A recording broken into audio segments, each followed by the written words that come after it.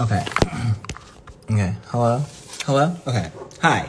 Um, I'm not getting paid to say this as much as I wish I was. Um, but I actually fuck with her and the coffee is really good. So Chamberlain coffee is a different breed of coffee and I'm not saying that on some like kiss ass type shit. It's actually really good and y'all know I fuck with Starbucks so heavy. Starbucks is my day one A1 and I hate making homemade coffee. I think homemade coffee sucks. But this bitch just really just be speaking to me. It's like we have a connection. We see each other. Like, I love this coffee so much. Emma, babe, we're here. I know we are. Um, send me some more coffee. Stop playing. I'm already, I ran out and I don't know how to use this. So, you better get, o- get over here, girl. Send Declan or something. I don't know. Like, hey, hop in your car and skirt skirt and drop some coffee off things. If you want coffee from Emma, it's really good. Swipe up. Okay, I'm probably not going to put the link, but yeah.